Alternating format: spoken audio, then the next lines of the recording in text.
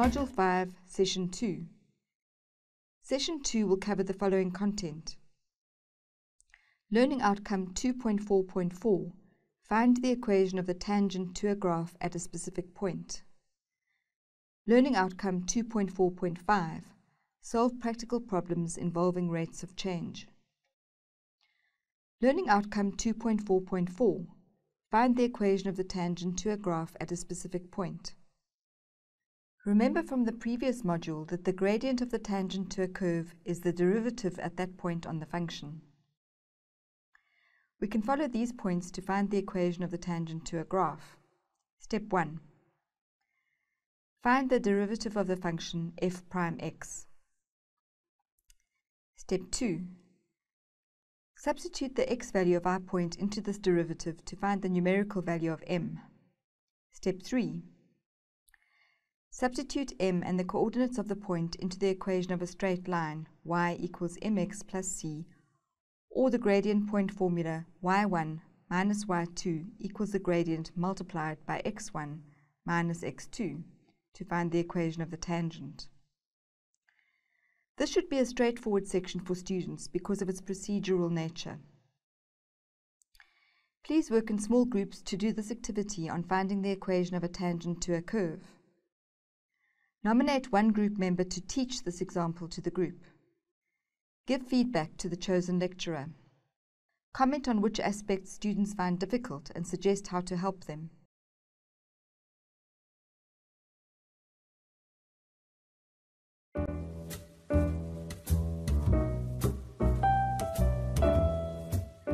Let's watch a video of the solution. We have to calculate the equation of the tangent to y equals to 3x squared minus 2x at a particular point 1 and 2. So ladies and gentlemen, the equation of a tangent, so a tangent is a straight line. So equation is y minus y1 equals to m x minus x1. Brilliant. We don't have the gradient, but we can find the gradient because gradient of a tangent, m of a tangent, is equal to m of f of x at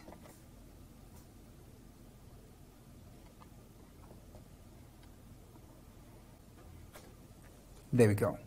So what we must find out now we must find the gradient of this function.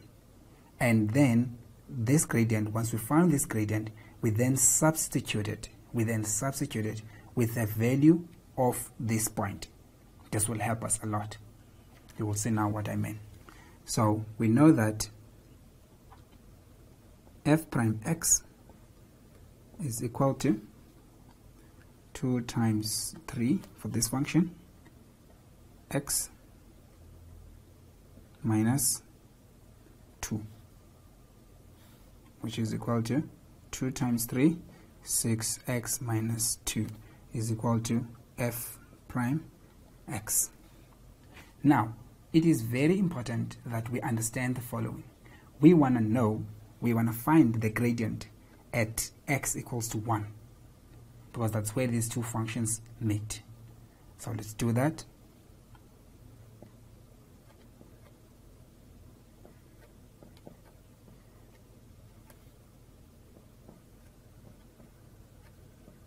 Six times one is six minus two is four.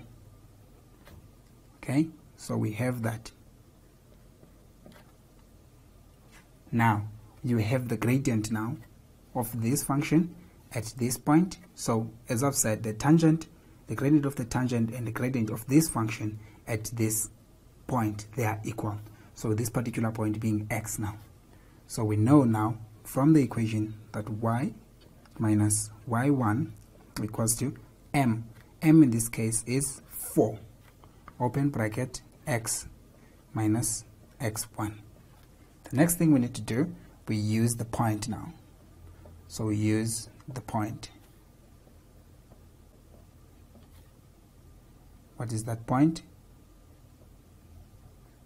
This is the point we must use, the one which we were given. 1 and 2. So when you see x, you put 1. When you see y, you put 2. So y is uh, y minus 2 equals to 4 into x minus 1. So does that give us? It gives us y. We can transpose this to the other side equals to 4 times x, 4x, 4 times minus 1, minus 4. Transposing this to the other side becomes a plus 2. Finally, y is equal to 4x minus 2. This is the equation of what? Is the equation of the tangent. Learning outcome 2.4.5 Solve practical problems involving rates of change. In general, a rate of change is the rate at which something increases or decreases over a period of time. You will remember from the previous module that the derivative gives us the slope or gradient of a function at any point.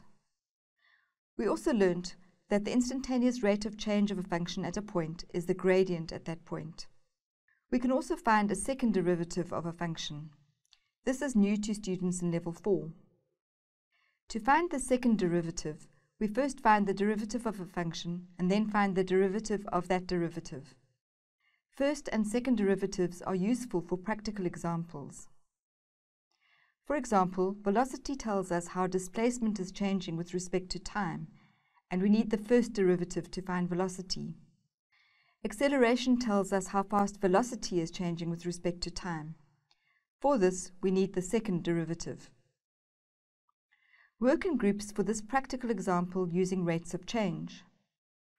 Nominate one group member to teach each part of this question to the rest of the group.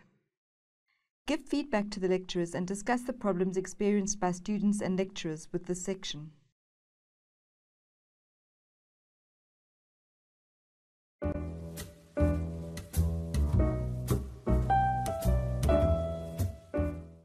Let's work through the solution together.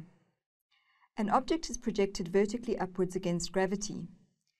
Its displacement s in meters during a time t in seconds is given by s equals 40t minus 5t squared. Question 1.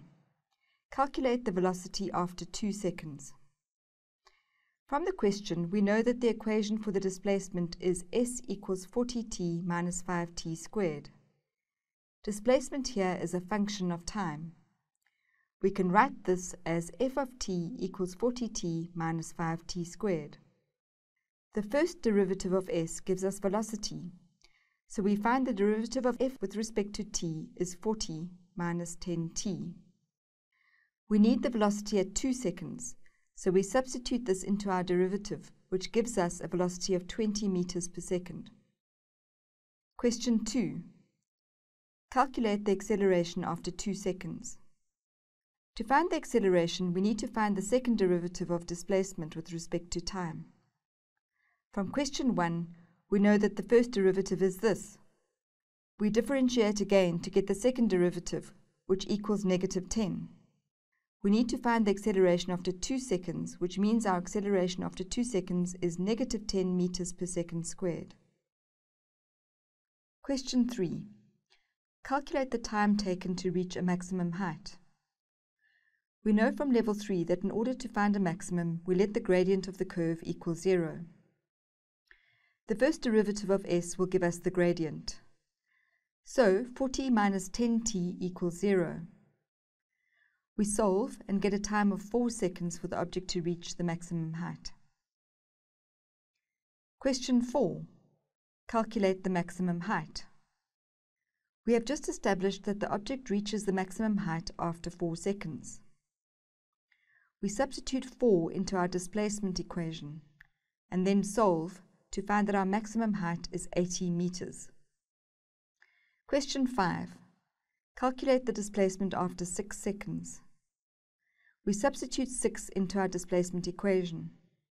We then solve to find that the displacement after 6 seconds is 60 meters. Question 6. calculate the distance travelled in 6 seconds. We now know that it takes 4 seconds for our object to reach a maximum height of 80 metres. We also now know that after 6 seconds our height is 60 metres. So we can calculate the distance travelled by working out how far the object has gone up plus how far it has come down. This gives us a distance of 80 metres up, our maximum height, plus 20, which is 100 metres travelled in total in 6 seconds. Now let's watch a lecturer work through another rates of change example. Air is let out of a large round balloon at a rate of 0.4 cubic meters per second. At what rate will the, ra uh, will the radius decrease if the radius is 3 meters? So imagine a round balloon. Of course, we can look at it as a sphere, in a sphere shape or spherical shape. First of all, what we know is that the volume changes with time. So we have dv dt.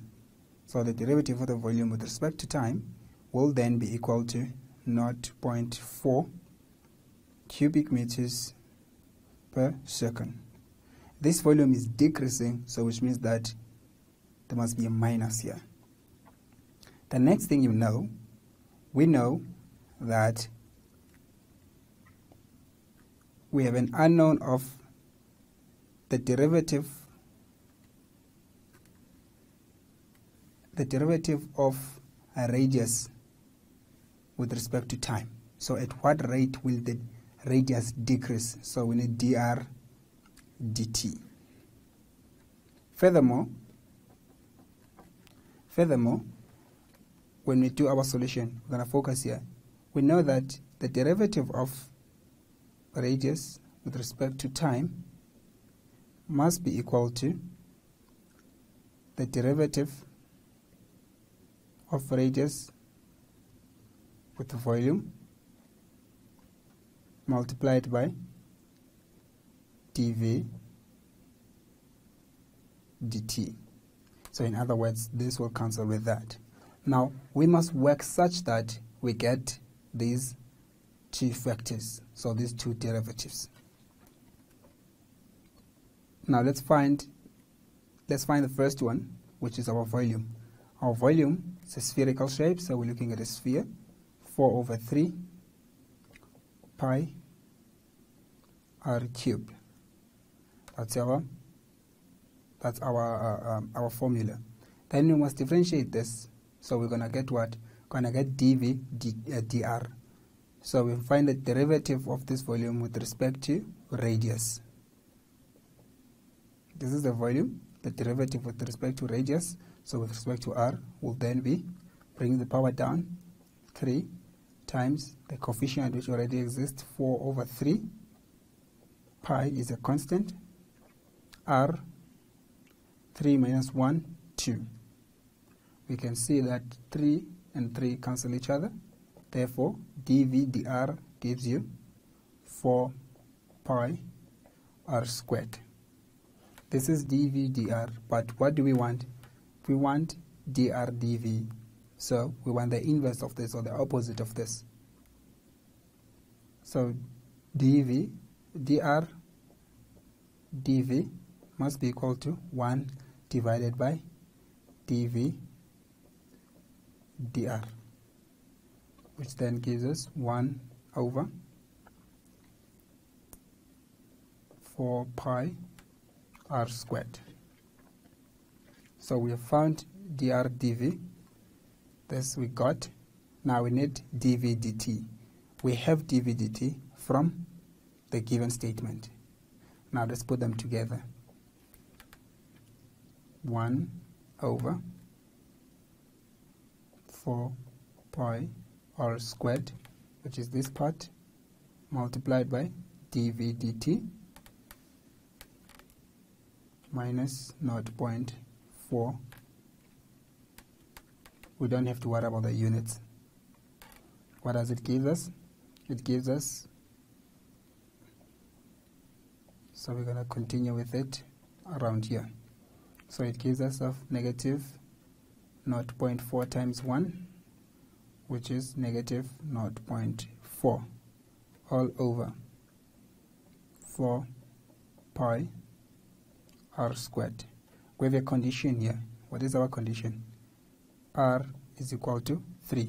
We've got that condition of a radius being equal to 3 meters. Let's then substitute. We're going to need the aid of our calculator. Minus 0.4 all over 4 pi open bracket 3 to the power 2. We need a solution here.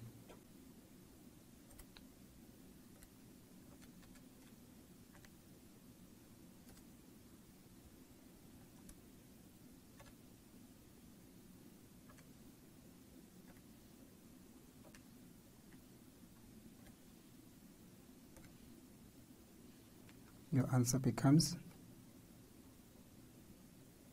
negative not actually let's write it in the form it is. Negative 3.5 6 times 10 to the power of negative 3 which clearly means that it's not look at here not 0.00 so you move your decimal point one, two, three. So you need a 3 here. 5. So your decimal point one, two, three.